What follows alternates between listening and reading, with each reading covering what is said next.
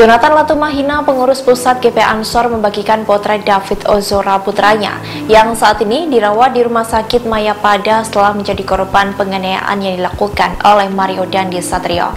Berdasarkan foto tersebut, David tampak dipasangi alat bantu medis di sekitar lehernya. Tanya itu remaja berusia 17 tahun itu juga tampak seperti menangis.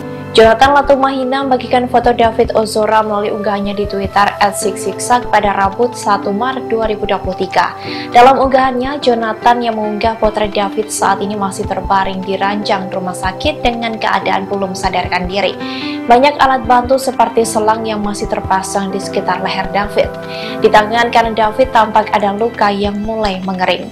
Mata David pun tampak sembab seperti kerap mengeluarkan air mata. Sedangkan Jonathan tampak di samping sang putra dengan terus memandangi putra tercintanya. Meski begitu, Jonathan menyebut kondisi David saat ini sudah jauh membaik. Jonathan menyebutkan bahwa saat ini David sudah merespons gerak tubuh dan pendengarannya sudah mengalami kemajuan luar biasa. Tim cyber GP Ansor itu pun mengucapkan terima kasih kepada orang-orang yang sudah mendoakan David hingga bisa seperti sekarang.